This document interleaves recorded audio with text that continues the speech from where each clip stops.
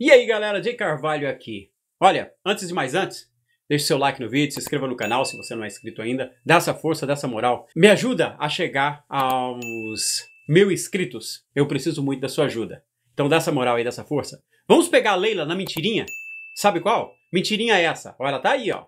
Mentirinha essa que ela diz que no Palmeiras a contratação ou as contratações são feitas com a Trindade. Leila, Barros e Abel. Cada um com os seus trabalhadores aí sabendo o que vai acontecer.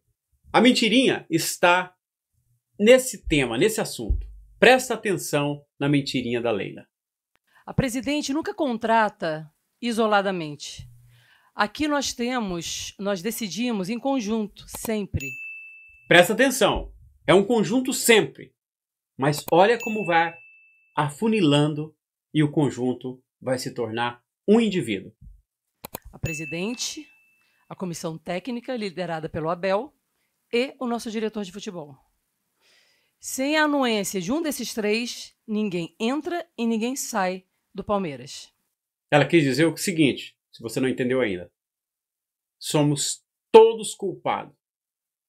Aí. Mas ela vai distorcer de um modo que ela vai falar que o Abel é o culpado sozinho no final. Presta atenção. Todos os anos nós temos um planejamento para cada ano, não é? Onde o Abel ele se posiciona dizendo quais as necessidades, o que ele precisa. Lembra da lista do Abel? Lembra dela? Que até hoje não chegou? Bom, pedidos do Abel Ferreira, segundo a apuração do ESPN.com.br. André Furi, um zagueiro canhoto, uhum. um lateral direito, um jogador para o meio-campo e o pedido mais antigo de um centroavante. Ele precisa e essas solicitações vão para o nosso departamento de análise, de análise de mercado. Até aí tudo bem, tem que ser analisado mesmo, tem que ter alguém que vai atrás desses jogadores. Esses analistas fazem o levantamento, né? aqui na América do Sul, no Brasil, no mundo, de atletas com aquele perfil que daqueles perfis que são pedidos pelo nosso treinador. Lembra do Lucas? Aquele gambá que trabalhava com o Tite na seleção? Ele agora está no Flamengo. Ele era um desses caras que fazia esse trabalho. Ele era um dos que atravessava os pedidos do Abel e nunca chegou o que o Abel pediu, porque aquele gambá estava lá. O nome dele é Lucas. Eu já fiz um vídeo sobre ele aqui. E levando em conta sempre algumas premissas que nós temos, né? Com relação à idade do jogador. Peraí. Se o Abel apresenta a lista e ele sabe o que ele quer, por que que agora tem que entrar a sua opinião, Leila, sobre idade? não é a quanto que o Palmeiras é, pode investir nesses jogadores. Isso também é muito bom pensar.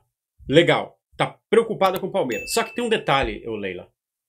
Se tivesse pensando nisso mesmo, você não estava atrás do Bruno Henrique, com 33 anos, pagando para ele o que nem o Flamengo quer pagar. Gente, eu quero que você pare e pensa na cacofonia da Leila nas mentiras que ela tenta colocar para você. Que não pensa, que depende de escutar jornalistinha, que de repente está até com amizade com ela aí, para poder defender essa lambisgoia. Se o Abel pede e você para na barreira idade, por que, que agora o Bruno Henrique é uma opção?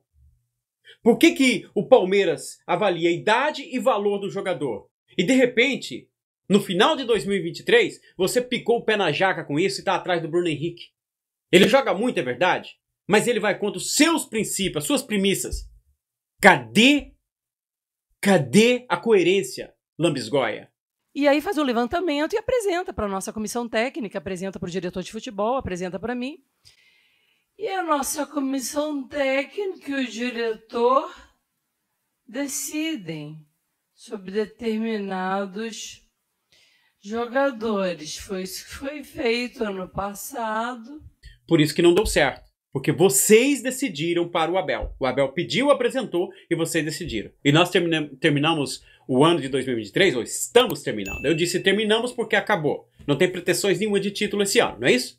Tô falando do futebol masculino, né? Então você já sabe que a Leila foi pego aí na mentira.